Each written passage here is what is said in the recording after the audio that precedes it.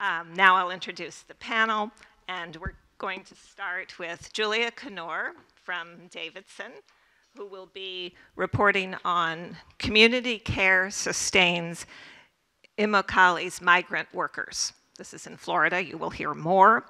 And Florence Middleton from Berkeley, After Birth. If that sounds mysterious, it won't in a few minutes. and Jesus Villalba from Westchester Community College, Healthcare for Aging Undocumented Workers. Next up is Laila Gad from Hunter College, Singapore, Aging Amidst a Heating Up World. And then we'll hear from Joy Tosakoon from George Washington School of Public Health, Discrimination Towards Thai Transgender People. So thank you all, and I'll give this over to you. Hi, so my name is Julia Knoerr, and I am a Global Health Inequities Reporting Fellow this year, um, and I was a Davidson College 2020 Reporting Fellow. So my project is titled Community Care Sustains Immokalee Migrant Farm Workers.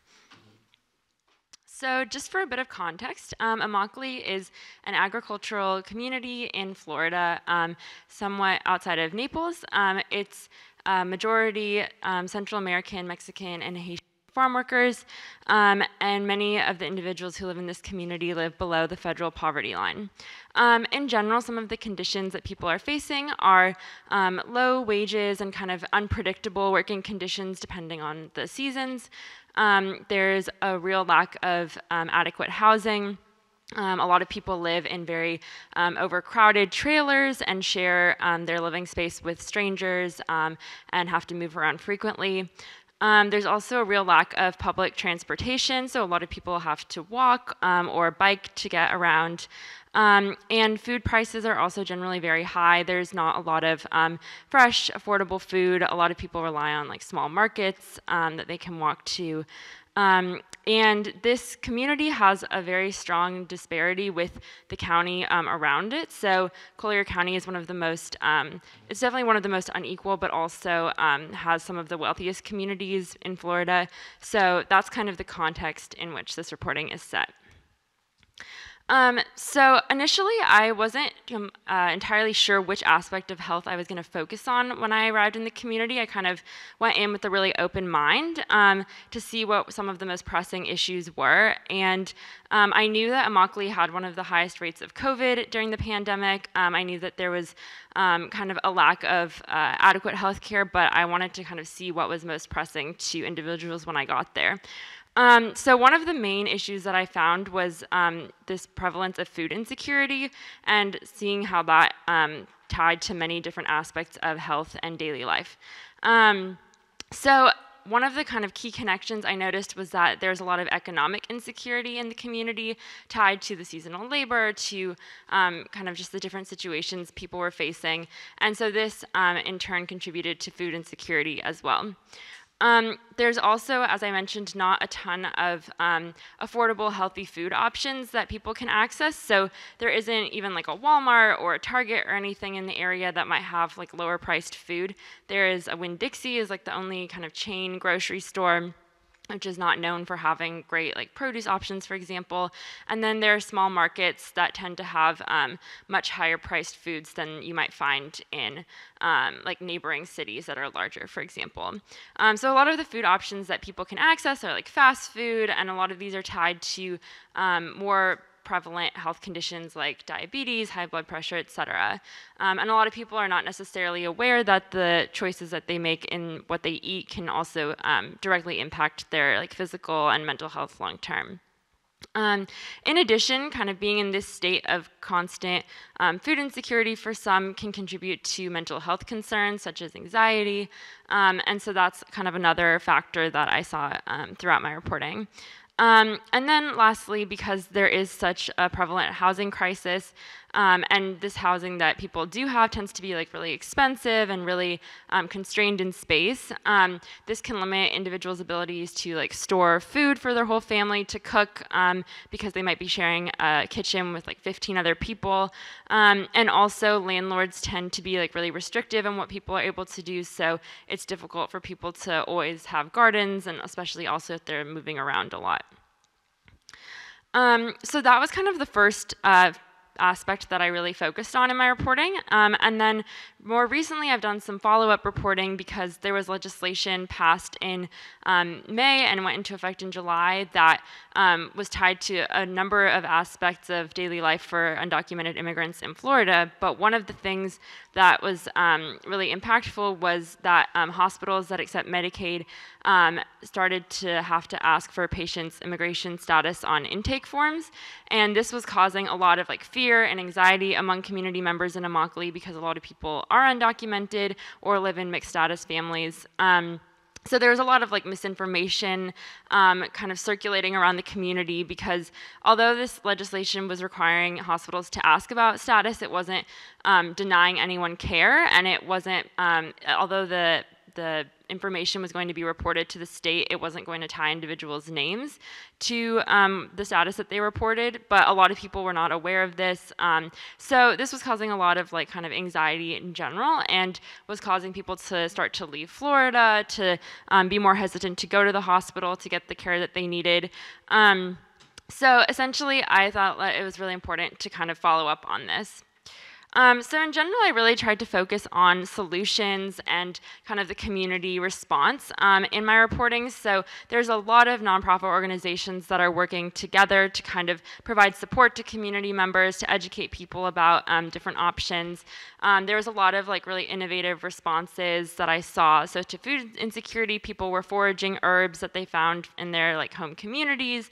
They were having more kind of informal food exchanges. Um, and then there was a community outreach team run through the local federally uh, qualified health center where community health workers were going out into neighborhoods, knocking on doors, and speaking to people in their native languages to really build that trust and kind of mitigate misinformation. So in my reporting process, I really worked to build trust with community members and organizations. Um, I started by reaching out, like in my pre-reporting, to some of the organizations I found online. Um, the Coalition of Immokalee Workers is really well known for their long history of um, work to get more just labor conditions and human rights in the fields.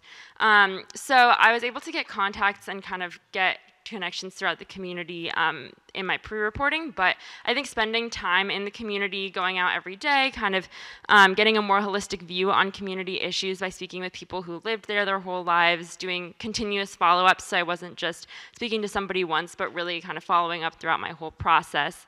Um, was really important. And then lastly, being able to interview people in Spanish and publish in Spanish um, was really important as well.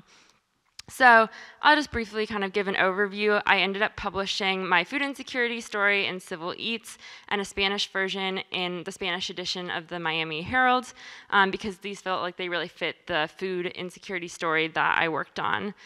Um, and then I was able to do a follow-up. Um, Civil Eats was doing a feature on like food, the food safety net, and they wanted an interview with the farm workers. So I was able to kind of go back to one of my sources to get a contact to look into that.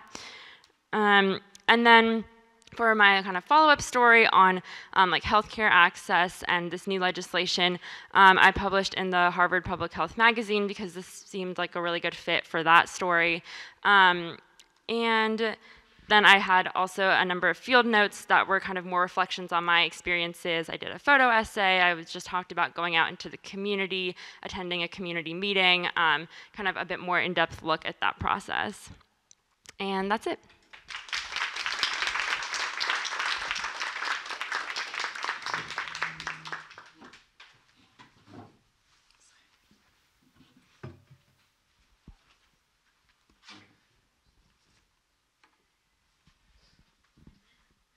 Hi, everyone. My name is Florence Middleton.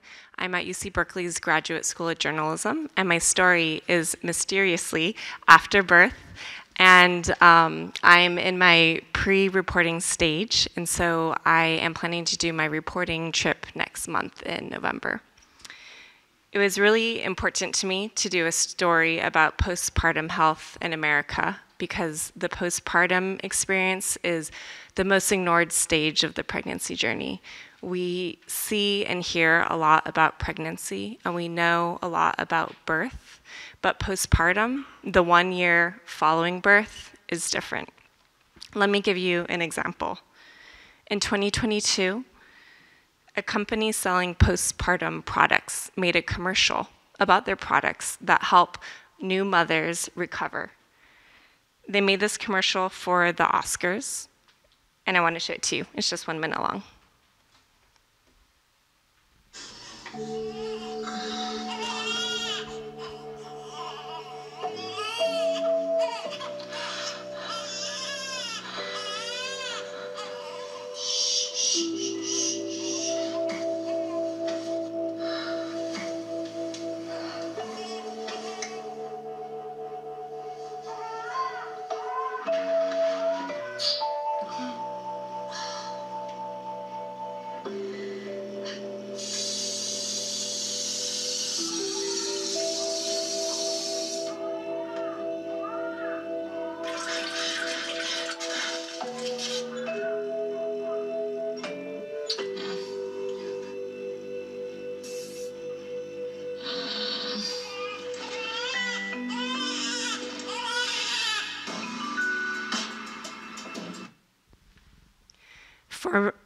Excuse me, for me as a new mom myself, seeing this was incredibly refreshing and incredibly relatable.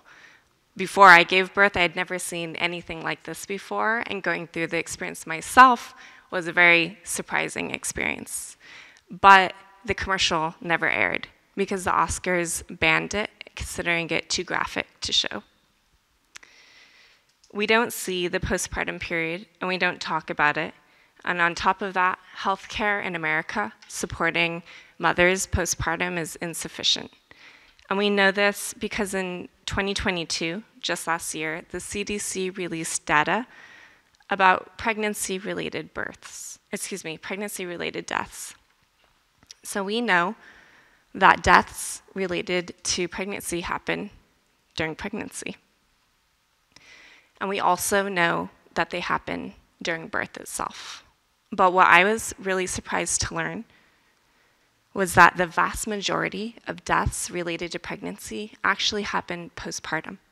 And it's not just the one or two days following birth, and it's not just the one or two months following birth. It's actually the full 365 days following birth.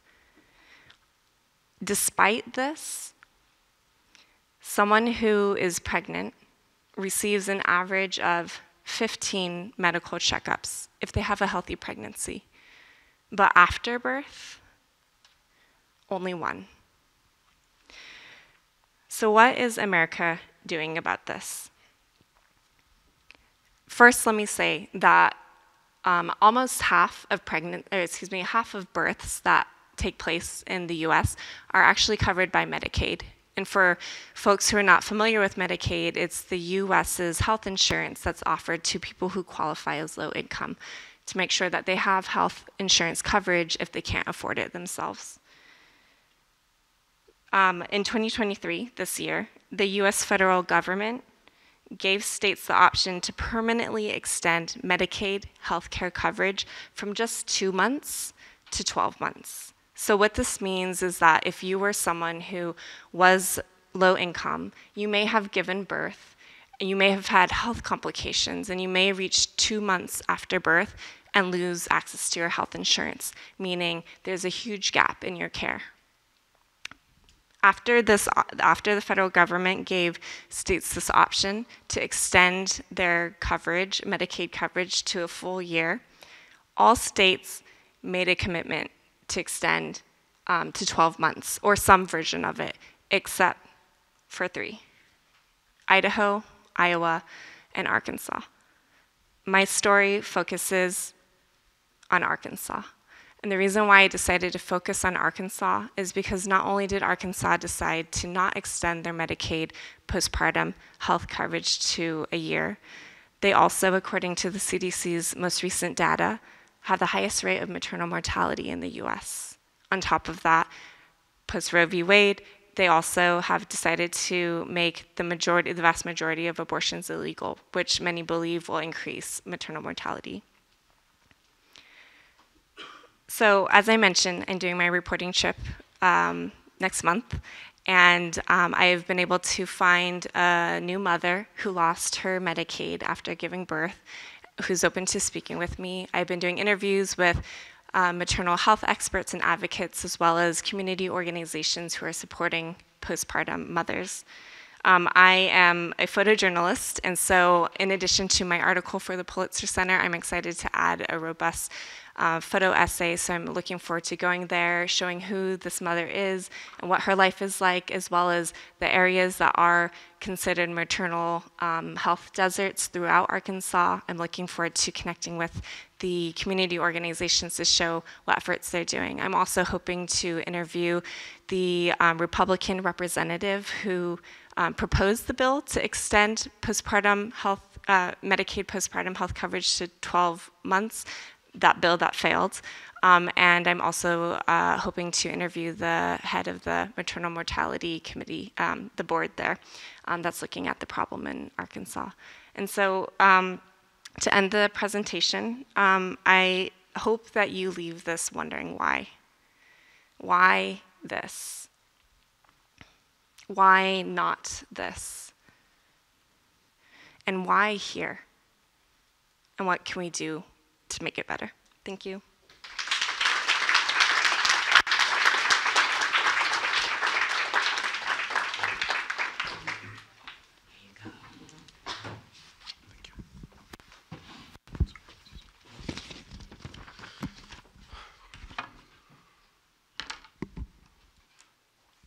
Uh, hi everyone, my name is uh, Jesus Villalba, and uh, my project is a documentary specifically reporting on uh, aging undocumented workers. Um, I've also, uh, so in terms of where I'm at in the process, um, I am still in the production process and still trying to schedule interviews and stuff. Uh, so today I won't be able to show you sort of like where I'm at in terms of the documentary, but um, I'll be sharing kind of what I've learned from this project uh, and kind of where it's headed in terms of where the story has shifted from what I originally proposed. Uh,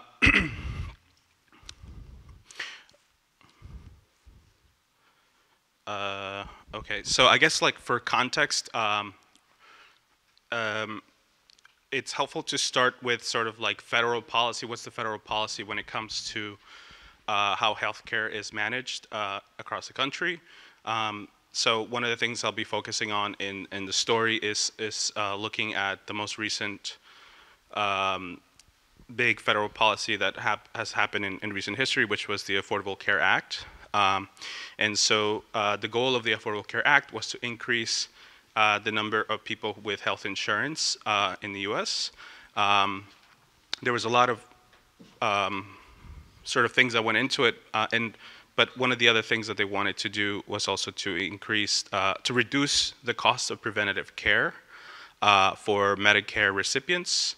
And so Medicare is um, sort of a policy from um, during the, the New Deal, uh, which seeks to create a, a, security net for aging people in the US. Uh, so as the policy went, the federal policy went through, um, nearly 20 million people were able to gain um, health coverage. Um, uh, and so that was accomplished. Uh, the federal policy, when it comes to everybody, excludes undocumented people from um, those kinds of um, resources. so there is uh, a sort of gap of cover of health coverage um, across the country for specifically undocumented uh, people. And uh, it's estimated um, at approximately 10 million undocumented people across the US. There are approximately 10 million people across the US. Um, that those estimates are, I mean, that's a whole issue that we'll get to towards the end about um, how to gather data on a population that's high risk. Um, and so that's coming up in sort of like the research. Um, and so what ends up happening because there is this gap of, of, of where resources can be allocated, uh, states um, are able to provide their own sort of state subsidized programs to sort of uh, meet that gap. Um, and this, of course, becomes an issue when you have public health crises like the recent uh, COVID 19 um, health crisis. Um, and so, uh, states with large, a lot of states with high uh, immigration populations have sought to um, think of innovative ways of introducing uh, state subsidized health coverage to, to meet that gap of uncovered individuals. Um, and so New York, New York State is one. Uh, Colorado is another state. Uh, California is actually one of the more has has been sort of a, a leader of sorts in terms of that state level innovation. Um, and so um, recently, in July of 22, uh, California was able to have the most uh, state subsidized coverage for undocumented people uh, called Medi-Cal. Um, and so um, New York State is trying to sort of follow uh, California's lead from a legislative perspective. Um, and so part of what's coming up in the story is the story has become also about this uh, New York State's sort of journey in trying to um, use um, a waiver, a federal waiver, to to use uh, federal money to sort of also um, fund state subsidized uh, healthcare.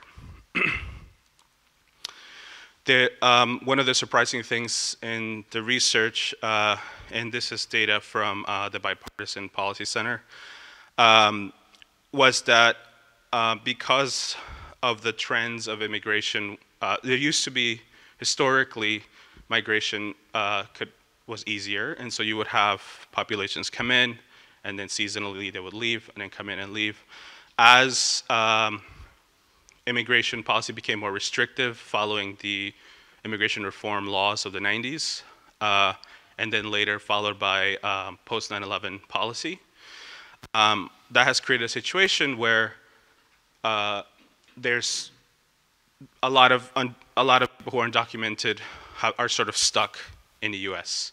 Uh, because uh, it's too risky to go back, and so there's a, a, a sort of like a, a population here that's aging and um, isn't like there aren't new immigrants coming in, um, and so what you have is that th- this population that's stuck here is aging at a faster rate. Not individuals are aging at a faster rate, but just sort of like the, the segment of the population. Uh, and so some of the data here uh, just shows a comparison between uh, native-born population and undocumented population, or uh, yeah, immigrants and foreign-born populations. Um, and so you, we see here that actually most of the people that migrated in the 90s are reaching their sort of uh, retirement age, is what they call it.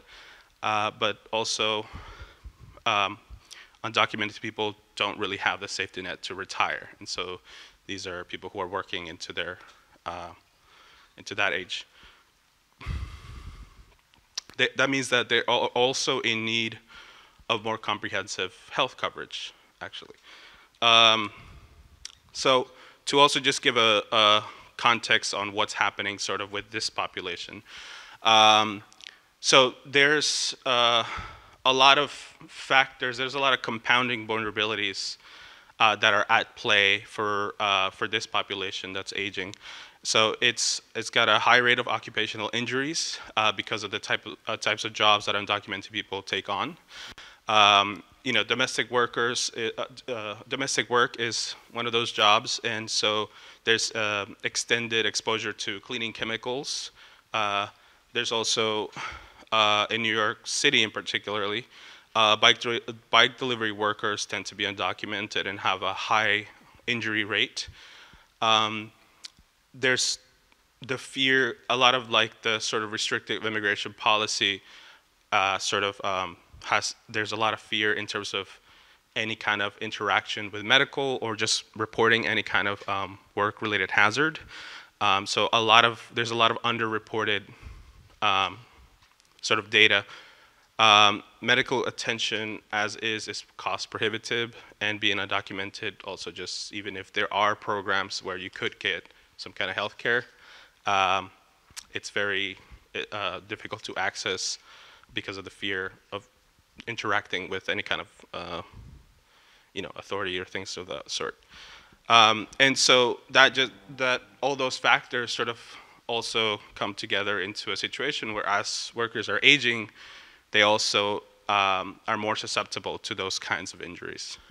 Um, so um, in, in, in sort of the documentary, I was, I've been able to follow this group of um, uh, organizers who are, are, are, working with legislative uh, bodies to try to like pass more uh, comprehensive coverage for undocumented people specifically, and also, and they're very um, sort of um, aware of that that there is an aging population that whose needs are not being met.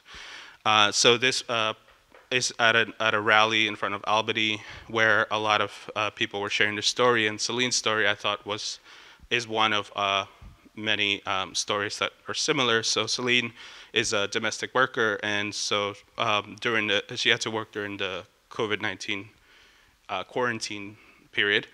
Um, and um, she contracted COVID-19 because her employers allowed uh, infected family members to come in and out of the house while she was there cleaning. And so with no safety net to fall on, uh, she, had, she had to sort of work through that and then go home and risk exposing family members. Um, and so there, this was an interesting sort of story because uh, the thing that came out during that time was this term of essential workers. And, um, but as, as essential as they are, uh, there's no sort of sa safety net and to provide any essential kind of services that they need. So, so I think one of the more challenging things about this story is that there's a lot of there's a lot of uh, there's not a, a, a, um, it's very difficult to get data. There's not a single place that has sort of like the go-to stats on undocumented population. Uh, two um, two um, research bodies are the community service. Uh, I have it here.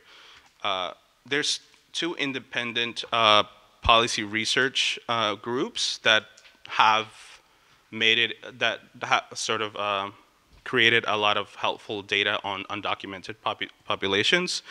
Uh, the Community Service Society and the Kaiser Family Foundation are independent sort of research groups. Um, and this also, in my research, I came across uh, the director of faculty research at the UCLA Latino Policy and Politics Institute uh, is Dr. Arturo Vargas Bustamante, who I'm hoping to interview, um, who actually has made a department specifically for studying undocumented populations and their health needs. Um, and so the reason for why it's difficult, it's because it's a very high risk uh, uh, population and a lot of the recent policy has been very punitive. Uh, one example is that in 2019, um, during that time, there was um, uh, uh, the Department of Homeland Security sought to um, use public charge, uh, which is a, a, a, um, their policy on punishing even green card holders uh, for seeking any kind of services. So this this situation created a lot of fear from anybody, including people who are who do have status, and that has uh, further generated sort of a culture of fear for um, undocumented workers.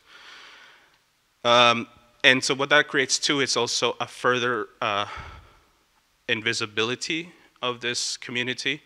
Um, and so now, I guess, in my work uh, as documentarian, because it's such a heavy visual medium, um, I'm also having a challenge in terms of um, the ethics around uh, portrayal and how responsible responsible it is to to sort of be adamantly have a visual, you know, have a visual human story so I'm sort of at a point where I'm trying to look at different formats to complete the story because I do feel like it is important to make uh, this situation visible at a human level. At the same time, the visual portray- the physical portrayal of people might be risky. So, um, so the last thing uh, is, thank you. Uh, that's all. Thank you. That's all I have time for. Please ask me questions.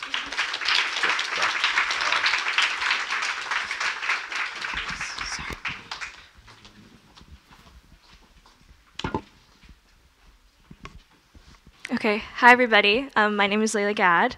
Uh, as I was saying before, I'm a senior at Hunter College, and I haven't done my reporting yet, so today I'm really excited to share with you um, a topic that I find uh, very important and it's on the forefront, and I think that more people need to be talking about this. So, uh, the title of my project is Aging Amidst a Heating Up World, um, and I'm planning to explore how Singapore's older adult population copes with heat.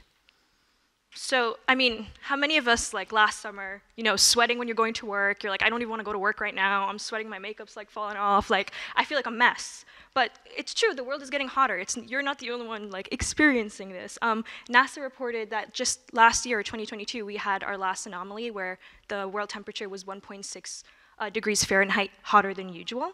Um, and over the last century, scientists has, has estimated that the Earth's global temperature has gradually increased by two degrees Celsius.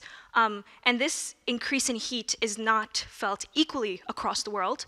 Um, areas that are cities, so like if you lived, if you live in Phoenix, Arizona, or if you live in New York City, those kind of cities experience heat uh, more rapidly than other places. And in specific for me, Singapore, which is a tropical, you know, uh, island near the equator, they experience heat much faster than we do.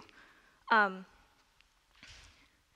so, so as I was saying before, uh, Singapore is located in, you know, around Southeast Asia.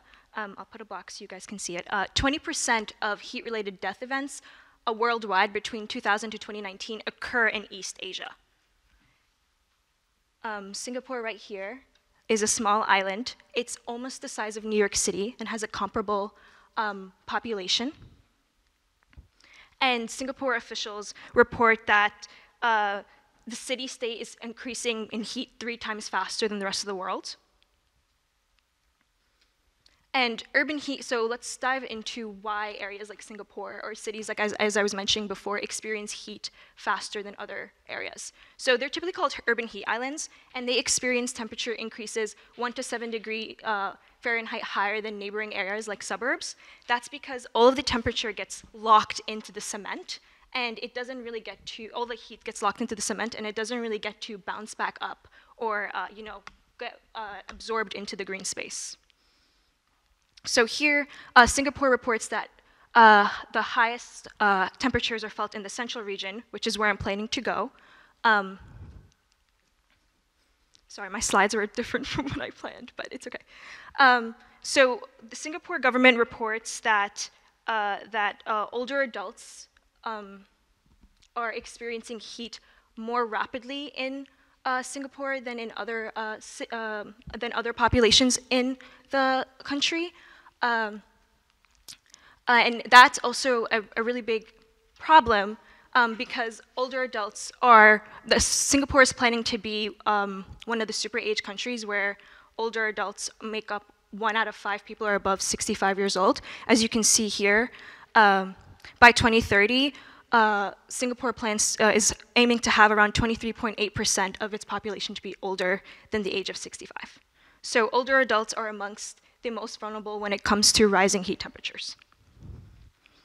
So the reason I chose Singapore was, as I was saying before, they're in between this, like they're at this nexus between um, heat, rising heat, and rising older adult populations, but they do have really innovative initiatives planned. Um, one of them is called the Green Plan's key target, uh, the Green Plan, and their key targets is to plant 1 million more trees, uh, they're planning to quadruple solar energy deployment by 2025, you know, reduce waste sent to landfills by 30% by 2030, uh, by 2030. At least 20% of schools are to be carbon neutral. Um, right now, currently, Singapore is made up of 46% of green space, which is comparative to places like New York City that only have 20%. Um, additionally, they have really amazing infrastructure, uh, something called Sky, uh, Skyrise Greening, which is, has, has led to 30% of a, a, cooling impact in, this, in the city state. Um, and Singapore views trees as infrastructure, not design. And I make this distinction because in places where I'm from, like New York City, trees are seen as design or ornaments. They're seen as beautifying.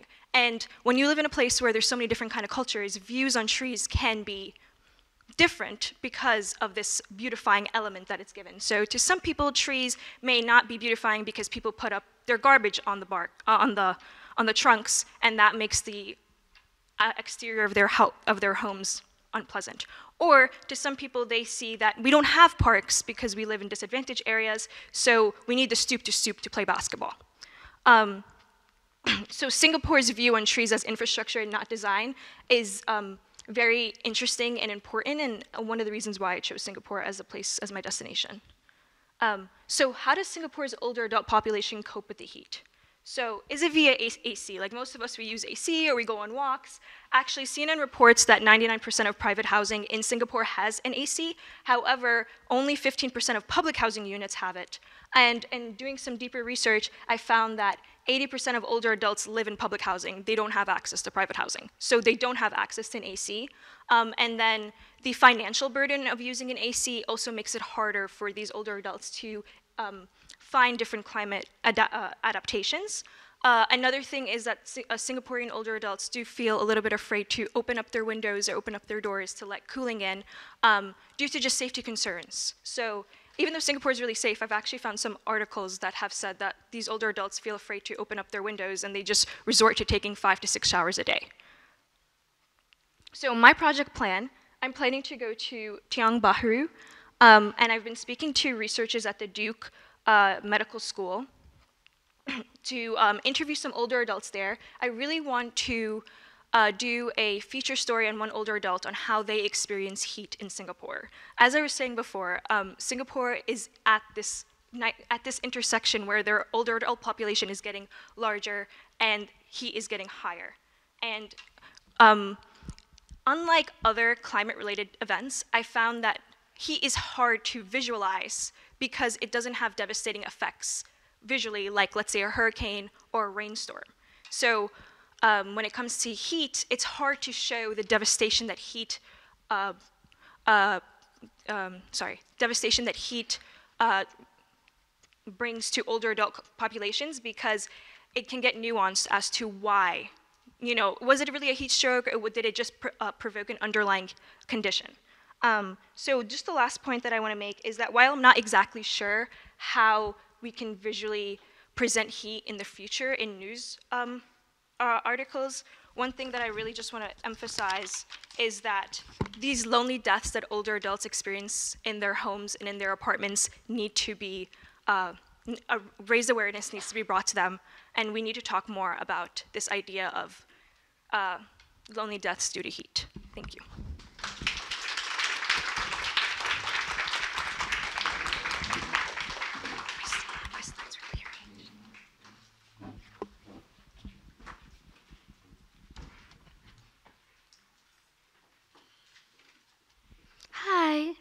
Um, so my name is Joy, and my reporting project is on discrimination towards Thai transgender people and the impact on transgender health. So a little bit of background, um, transgender people are highly visible in Thai society, yet they are discriminated against and they lack basic human rights, health rights uh, compared to their cisgender counterparts. And there is a law in Thailand, um, it's called the Gender Protection Act of 2015. And you know, that's just like unlawful discrimination against people based on their gender identity.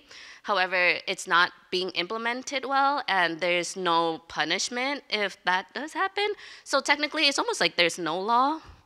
Um, and then these are some of the people I interviewed. So I went throughout different parts of Thailand just to ask them about um, their access to healthcare, their experience to healthcare, and ways to improve um, whatever they're like they've been feeling discrimination, stigma. And I also was able to in, um, interview the president of the Thai Transgender Alliance Group um, and the manager of um, the first ever transgender clinic in Thailand called uh, Tangerine Clinic. And that clinic is um, community led, so like it's just, it's being led by transgender people. Um, so there is a chain reaction um, that you know I saw from these interviews, and everyone that I interviewed said that they experienced some sort of bullying or teasing at a very young age. And the president of uh, Thai Transgender Alliance uh, Group (TGA), um, they said that from the bullying, there's an increased likelihood of not finishing school, and then that leads to a lower chances of getting a higher paying job or a stable job. And these people, um, they might go into um, work that's like day-to-day pay. So that can be uh, cabaret show performers. Um, one of the person that I interviewed was a cabaret show performer or a merchant. Um, and not all, but a lot are in um, the sex work industry. And from there, it kind of funnels it down to not being able to afford or access healthcare. And in Thailand, there is universal healthcare, but for public hospitals, and that's just to meet your basic health needs. So if you get sick, if you need minor stitches, you can go to a public hospital and you don't have to pay. But for gender affirming care, so just getting consulting for hormone use or gender reassignment surgery, you can't do that at a public hospital and it will cost you money or you need um, additional insurance. And so now, in terms of stigma and discrimination in um, the healthcare setting, so there is a lack of comprehensive healthcare services and gender affirming care for trans people.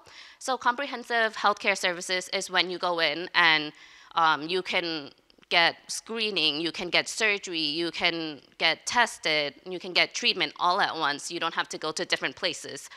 And gender affirming care is pretty much a patient centered care and treatment that aligns a patient's um, physical trait with their gender identity. So the Tangerine Clinic, they're one of few um, comprehensive healthcare like healthcare services providers in Thailand, but that's in the metropolitan area in Bangkok. So if you want that type of service, you would have to like fly into the city or um, and like some people are not able to afford that type of treatment. And um, medical students in Thailand are not being taught gender affirming care as well. Like just the basic thing um, with engaging with patients, using the right pronouns, um, that's not being taught. You can take it as an elective, but it's not in the curriculum. And also, everyone who I like, everybody I interviewed, they said that they are they have been misgendered at least once in a healthcare setting. So this is like an example of a Thai ID. It's just like my ID. Um, and so you have your uh, prefix Miss or Mister, and in Thailand you can't change that, unlike here in the states. Um, so if you are, you know, a trans woman, your ID it's going to have Mr. in it. So if you have Mr. in your ID, you are going to be put in a male ward in a public hospital. And for a person who feels like they are a woman, they, it might be very uncomfortable for them to be with in a room full of just like you know male. So that leads to that uncomfortable experience of healthcare facilities and providers, um, and they might not be like they might not engage in healthcare access or get treatment later on because of this negative experience. and that leads to like more stigma. So people like transgender people, um, they have you know that stigma against them in terms of like the HIV setting, and they might not go get more screening and more testing, and that prevalence of HIV is still going to be high. And so there needs to be some change. And so when I was interviewing um, people, um, they also invited me to this press release for the Three Miracle Law, and it's um, you know it talked about legal gender recognition, marriage equality bill, and uh, decriminalization of sex workers, and all of these are very applicable for transgender people. So in terms of marriage equality, there's you know same-sex marriage is not legal in Thailand, and if you're a transgender person and you have um, um, a partner who is also a male and you get into an accident, that person can't sign off for you at a hospital if something were to happen to you. And gender recognition, as mentioned, is very important. Um, and as mentioned before, a lot of um, transgender people, not all, um, are in sex work, and there's no law protecting them in terms of like violence that are being committed like against them. And Another thing um, that um, the manager of the clinic and um, president of TJ mentioned that we need gender affirming care um, and we need to teach it in medical schools and having that accessible and affordable care, not just in the metropolitan area, but also in more rural settings. Um, so that way, these people don't have to travel so far and feel that they can also get the same treatment as a cisgender person. And so my takeaway is that um, human rights are the foundation for advancing healthcare for all populations. Um, without the basic, you know, rights of accessing care, of being called the right pronoun, um, you just can't get like the same healthcare. It people won't feel comfortable. Also, cultural context matters. Um, I have worked with um, transgender individuals um, in research in clinical settings, and being in Thailand is different than the U.S. setting in terms not just um, the transgender experience, but also the healthcare system, and also something that may seem small to us may not be small to others. So we are like so used to being like, oh yeah, I'm a female, like I use Miss, but for them they can't change it, but it makes them feel like there's some part of them that's missing every single day, and that's like we should you know advocate for um, everyone who wants this type of change. Thank you.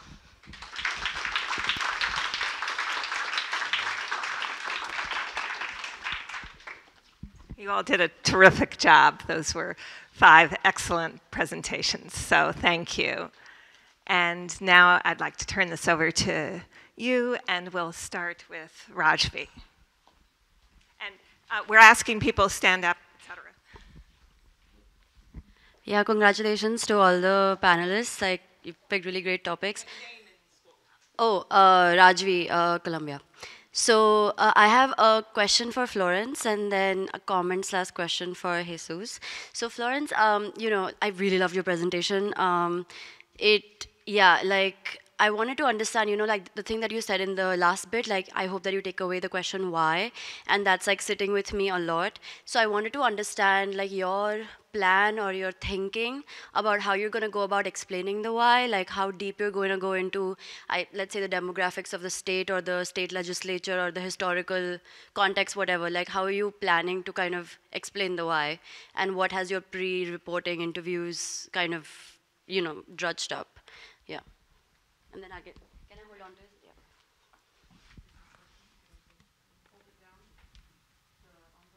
Now? Yeah. Um, thanks so much, Rajvi, for that question. I think it's incredibly important, and a couple of things come to mind immediately. Um, I think one, um, actually, three things. Um, the why is incredibly important, and I think, yeah, the three things that kind of come to mind are, um, are race, um, the maternal medical desert, and political motivation. And so, um, to race, I think it's absolutely something to look at. And I think when you look at any kind of medical statistics, you can see that um, systemic racism disproportionately impacts people of color, and particularly black women and black people who are giving birth. In Arkansas, in particular, um, close to 20% of the population is black, and um, close to 40% of the maternal deaths that are happening um, are, are uh, people of color. And so I think that's something I definitely want to explore and to understand and to highlight as a reason why. Um, medical desert. So 50% of of Arkansas's counties are medical deserts, which means that they don't have access to hospitals or um, OBGYNs or birthing clinics where they can safely give birth. And so I think that's something, especially visually, I want to explore and show that this is also a problem is access. And then um, third, uh, political motivation. And so um, I was speaking to someone recently we were like, you know, maternal health is a pretty uh, simple thing. It seems like wouldn't most people want um, better care for for folks who are giving birth for um, mothers, but it's more complicated in the US because, especially when you look at Medicaid, um, not all individuals are supportive of kind of growing government and free services and have a lot of perspectives on who deserves care and access. And so I think those are some of the whys that I want to dig into and explore and to speak with people further on. Thank you. Uh, good luck. I can't wait for you to execute this. Yeah. Thank you. Um, and yeah, another uh, kind of comment for Jesus. Uh, I really resonate with the ethical dilemma that you're facing uh, with you know your documentary. I really believe that exposure and awareness is not always a blanket good thing when it comes to certain communities. So yeah, I was just wondering like why, like what is your thinking behind it being a documentary um, versus, I mean, I understand what you're saying about humanizing the issues and perhaps not text, but what about maybe like an audio story versus a visual story? Like, I just want to understand like, you know, how, how you're thinking about these decisions. Uh, yeah. Yeah, uh, thanks for the question. No, yeah, that's definitely. Um, I had a conversation yesterday about specifically uh, audio format as actually like maybe something that could be helpful in a way because uh, yeah the so part of what I was initially try, the way that I was trying to problem solve on a document in the documentary format was I was trying to sort of not show faces but then that almost had the opposite effect of dehumanizing because it's just hands and that's been a thing that's been done. Um, but uh, actually, from the from the uh, audio uh, project, and I'm sorry if I'm blanking on names, but I thought that, that was an interesting format because um, it is there is something sort of personal, more personable and intimate about that format. Uh, that you know, uh, there is a human connection in that way that doesn't re uh, rely on face, on having a face to it. Um, so I, have been, yes, it's been since that conversation yesterday. I've been thinking about the audio format and uh, and then just thinking of ways to include other visuals. So yeah, thanks. I would love to talk more. okay, great questions, and I think Marina has one. Hello, everyone, and congratulations on those wonderful uh, presentations. I'm Marina from the Pulitzer Center team. I wanted to ask each of you, maybe quickly, if you want to share how you're thinking about your audience and what are the audiences that most need to see, read, engage with your story, um, and how that might influence your choice of distribution. Um, oh, okay, sorry. Sorry, technology technology difficulty. Um, yeah, I, I've been thinking about this, and I think that, especially when it comes to my story, when I introduce it as a climate health based story, aging and heat, sometimes the connection can be lost, and I do have to sit down and like explain like here's how all of these th things, three things connect. Um, but the main reason why I wanted to tell this story was that I think that it's older adults lack the climate literacy of how to handle a heat wave related event. So I really wanted the piece to be sort of like an informational piece for them, where they can see themselves in the story. It's not sort of like a younger person, you know, like whole intergenerational connection. Like I want to show that this is you and you've experienced this before, and here's how you go about protecting from experiencing a heat wave. So I, I've really just seen this story as like a climate literacy sort of angle. Um, and of course, I've thought about like, how should I distribute it? Because, you know, um, older adults typically like to, you know, read more things that are on paper. And, um, but I thought that maybe something uh, visual or audio would be best because it's something that could listen, they could listen to or they could watch and it doesn't, they don't have to worry about the text on the website not being large enough. Um, but yeah, thanks, good question.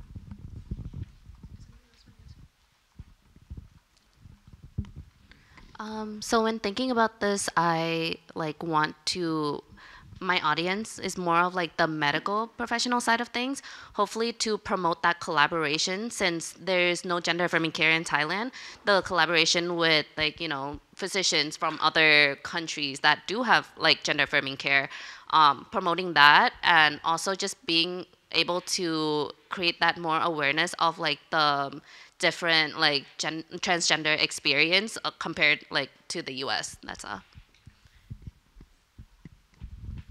Um, yeah, I've definitely have um, been thinking about audience a lot. I think um, I go, I sort of go back and forth in terms of um, who has the power in in a legislative way, and at the same time also recognize that that so much of the the fear uh, that sort of that is part of the issue um, makes me almost want to also, in the same vein, have this project because it's documentary be uh, be for sort of undocumented people who who who can learn about how the policy works because there is a lot of misinformation as um, uh, Julia's uh, project mentioned ab- about uh, what what a, when policy is made. I think just to say like the res- the response is to to not interact with um, any kind of like institution. Um, and I used to be undocumented myself, and so um, it's interesting to sort of um, continue to to see that there's this like fear and i- there's it's just there's no uh, there's no stable position in terms of like in, in terms of legislation. So I think a, a documentary project that could help um, other um, undocumented people understand sort of the more the, the policy end of things is also kind of where I'm gearing towards. Um, in terms of audience, I'm. This is a little bit of a generic answer, but I'm thinking as broadly as possible. I feel like it's important for people who are not just folks who are giving birth to have an understanding and awareness and care for um, people who are giving birth and the health complications that do arise.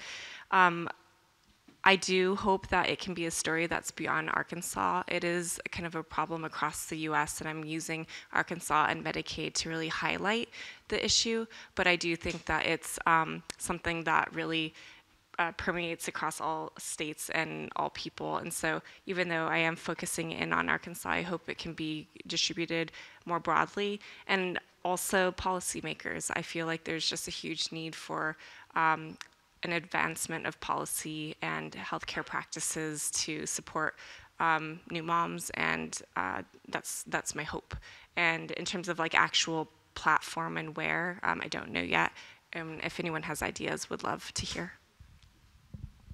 Um, yeah, so I guess my case is a little bit different since I've already published my stories, but um, I guess in general, I ended up um, publishing in outlets that had a national reach but a thematic focus. So I think that um, the reach was important because Immokalee is a community that doesn't receive a lot of attention in the news in general.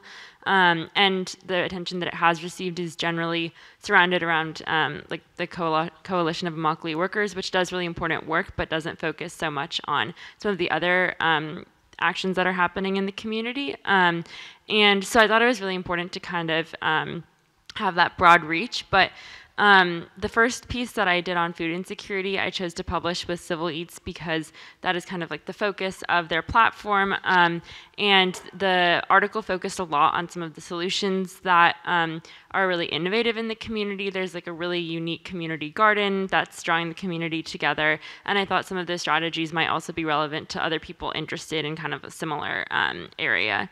So that was kind of how I ended up with that. But I also thought that it would be really important for, especially one of my main sources who shared like a lot of her personal story, to be able to read the piece. Um, I felt like kind of having that full circle with the community and not just like going in and leaving and not kind of following through um, was something that I felt was really important. So I went back and asked like what outlets um, the people like that I interviewed would want to see this in if it was published in Spanish, and so that's kind of how I landed on doing that as well.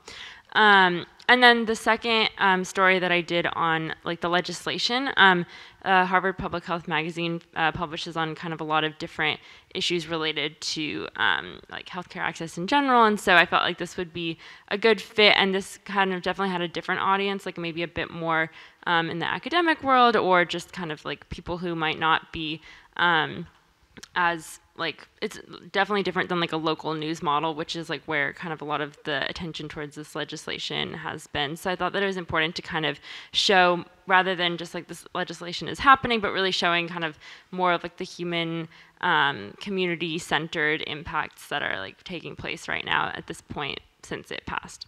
So yeah. Thank you.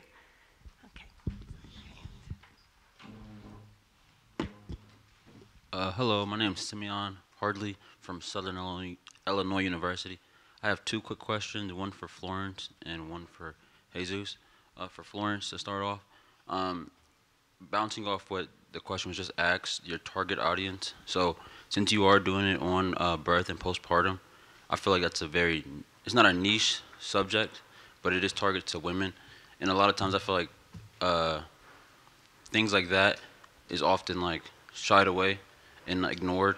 So how are you gonna go by trying to get that to a broader audience? And in your story, since it is focused on postpartum women, are you gonna be foc- Are you gonna try to get like some sources uh, that's male?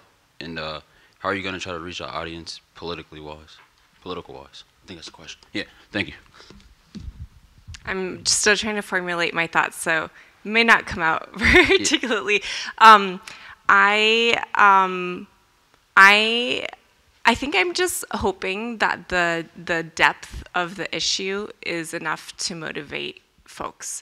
I feel like in terms of who I want to interview, um, one of the one of the um, uh, one of the doctors on the maternal mortality review committee in Arkansas is male, and so he's um, there are two people I, have been kind of reaching out to for interviews. So I'm hoping I might be able to connect with him, and um, so perhaps that would um, contribute to broadening the audience and um, folks hearing that perspective. Um, and I think I'm just kind of personally a believer that like when I see data like these that show it's such an enormous issue, and then highlighting the fact that half of the population um, goes through postpartum experience, that that is motivating because we definitely do need all people to help move things forward and not just rely on women. Um, but that's something that I'm going to think about and um, kind of uh, consider um, because I I. Uh, am unsure if others will feel as motivated as I do just from the data. So thank you. I love the story, and I'm glad you're doing it. And for Jesus, uh, since you have a background, uh, since your background, uh, I think uh, I'm trying to word this correctly. Ethic or like race-wise uh, is targeted to your the people that you're doing the story on. I feel like that's important. I'm a black man, so doing stories on black people, I feel like uh, adds to the story because it gives a comfort that uh, layer that's put down. Uh, so how has your background uh, helped you connect with the people uh, that you're doing a story on? Thank you. Um, yeah, thanks. And, um, yeah, I mean, I was formerly undocumented, so I think I'm.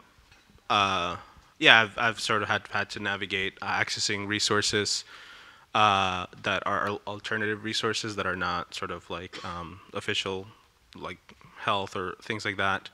Um, so I think um, from that end, um, yeah, I think it's been. Um, I'm, I'm, attuned to um, what what's at risk and what what how loaded a question can be. Um, and so I think I've been, for the most part, though, in this in, in my stage, I've been mostly um, focused on policy right now. Um, but I have been involved in sort of like advocacy for for uh, with um, there's a um, a coalition uh, called Coverage for All campaign, and so I've been involved with them, um, and so that's my sort of also context for for um, how I sort of became aware of this spe specific dis discrepancy in terms of coverage.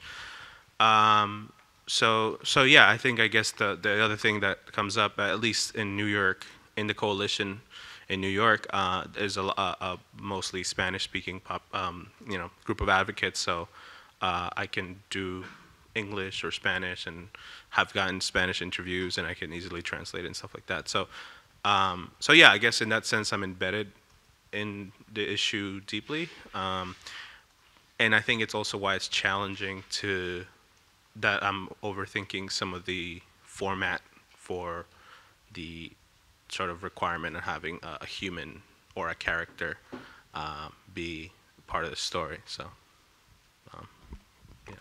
Okay, thank you. And I, I think we're going to have to stick to our schedule. So I just want to thank everyone, not only the panelists, but also all of you for these great questions.